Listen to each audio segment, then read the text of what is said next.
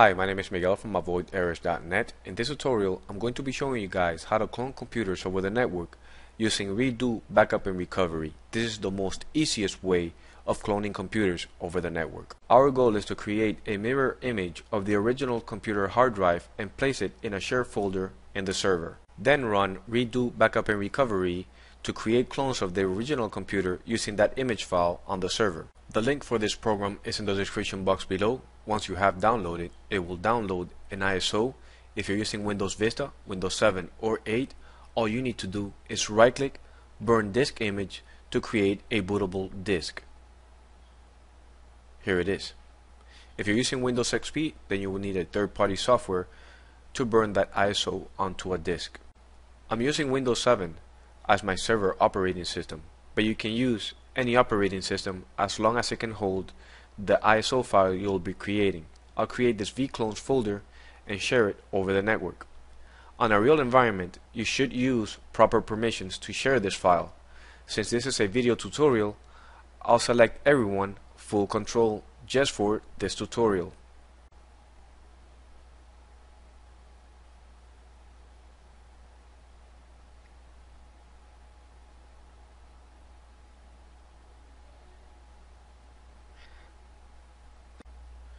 I'm letting everyone have full control of this folder.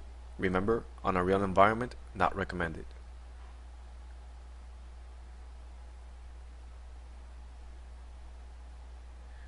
Perfect. I have created this uh, shared folder over the network.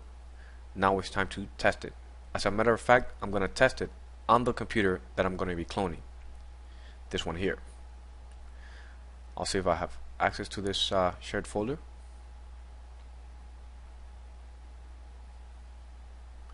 Now let me see if I can copy and delete a file from here just to make sure. Perfect.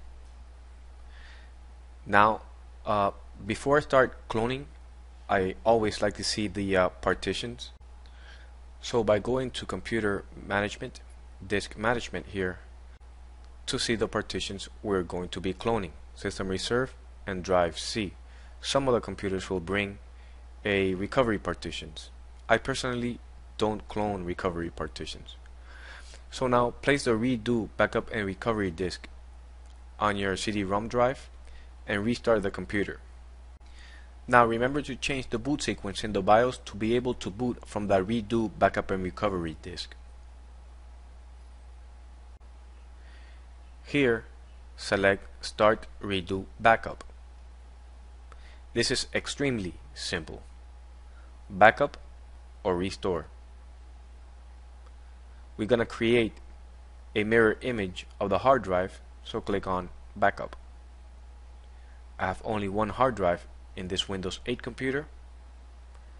Pre-select it. Click on Next. Now my system reserve and my drive C is already selected. If I would have the system recovery, it's optional if you want to uh, clone it or not. Click Next, select Shared Folder over the network, and now type the directory or folder directory. Instead of typing the server name, type the IP address of the server and the folder name. Plug in the username and password and click on Next. Now if you would have had a subfolder within that folder you can browse. I'm gonna um, just select the root and click on next. You can rename it if you like. I'm gonna leave it default June 14th 2013 next. And it will start creating that image file of the hard drive onto that shared folder in the network. Perfect. I have created a mirror image of the original computer hard drive onto a shared folder on the server.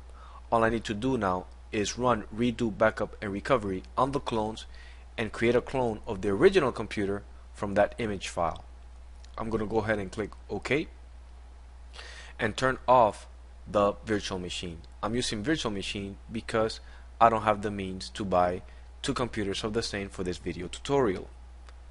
As you can see, both mach virtual machines are exactly the same. The difference is just the name. On a real environment, the process is exactly the same.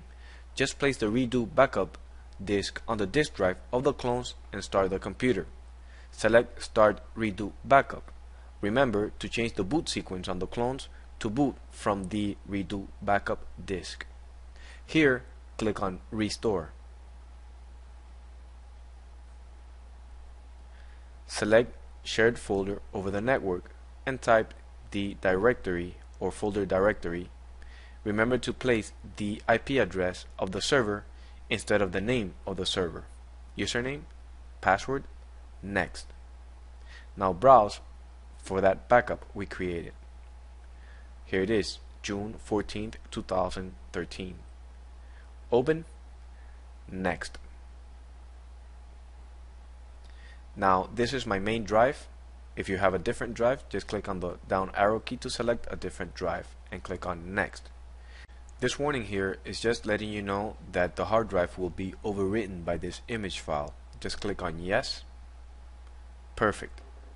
You have created the clone out of that image file. Now once you restart the computer, it will restart with the exact configuration you had on the original computer. Thank you for watching this video. My name is Miguel. If you have any questions, feel free to post them in the comment section below. Thank you.